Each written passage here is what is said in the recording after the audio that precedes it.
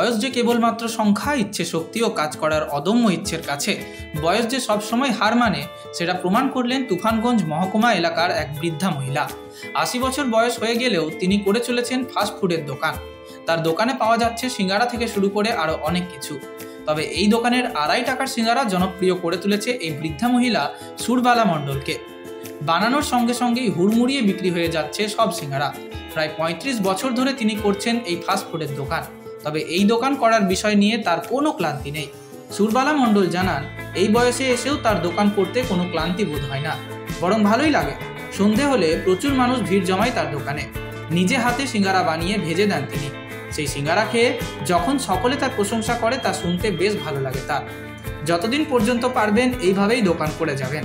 এলাকার এক স্থানীয় বাসিন্দা রূপক মণ্ডল বলেন, এই বয়সে এসেও পাড়ার দিদা যে দোকান করছে, সেটা দেখে বড়ই ভালো লাগে। এছাড়া সবচাইতে আকর্ষণের বিষয় হলো দিদার হাতের তৈরি সিঙ্গারা। দাম মাত্র আড়াই টাকা, তবে স্বাদ অপূর্ব। আমরা তো রোজ এসে এখানে সিঙ্গারা খেয়ে থাকি। আশি বছর বয়সে এসেও সুরবালা মণ্ডল যে ফাস্টফুডের দোকান করেই সকলের মন জয় করে নিয়েছেন, সেটা বলতে কোনো দ্বিধা নেই। তবে শুধুমাত্র তুফানগঞ্জ মহকুমা এলাকায় নয়, গোটা কোচবিহার বর্তমানে এই সিঙ্গারা দিদার কথা জেনে গিয়েছে। তাই মাঝে মধ্যেই প্রচুর মানুষ শুধুমাত্র সিঙ্গারা খেতে আসছেন দূর থেকে তার দোকানে। তবে এটি বিষয়ে তিনি কিন্তু অসন্তোষ প্রকাশ করেন না। উল্টে তার মুখে থাকে বৃদ্ধ বয়সের ছাপযুক্ত একটা চওড়া হাসি। সকলের সঙ্গে হাসি মুখে কথা বলতে বলতে কাজ করে চলেছেন তিনি। অনেকে আবার তাকে জিজ্ঞেস করেন, দিদা, এতটা বয়সে এসে তোমার এই দোকান করতে ইচ্ছে কেন করে? তার উত্তরে তিনি হাসি মুখে খালি একটাই উত্তর দেন, যদি কাজ না করে ঘরে বসে থাকি, তবে শরীর আরও বেশি খারাপ হয়ে পড়বে। হয়তো আর বেশি দিন বাঁচব না। বানানোর সঙ্গে সঙ্গেই হুড়মুড়িয়ে বিক্রি হয়ে যাচ্ছে সব সিঙ্গারা। প্রায় পঁয়ত্রিশ বছর ধরে তিনি করছেন এই ফাস্টফুডের দোকান। তবে এই দোকান করার বিষয় নিয়ে তার কোনো ক্লান্তি নেই। সুরবালা মণ্ডল জানান, এই বয়সে এসেও তার দোকান করতে কোনো ক্লান্তি বোধ হয় না। বরং ভালোই লাগে।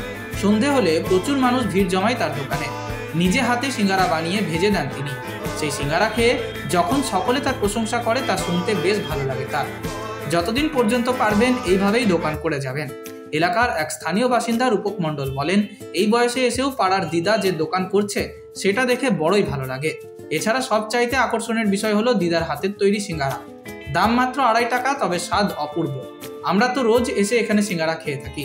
আশি বছর বয়সে এসেও সুরবালা মণ্ডল যে ফাস্টফুডের দোকান করেই সকলের মন জয় করে নিয়েছেন, সেটা বলতে কোনো দ্বিধা নেই।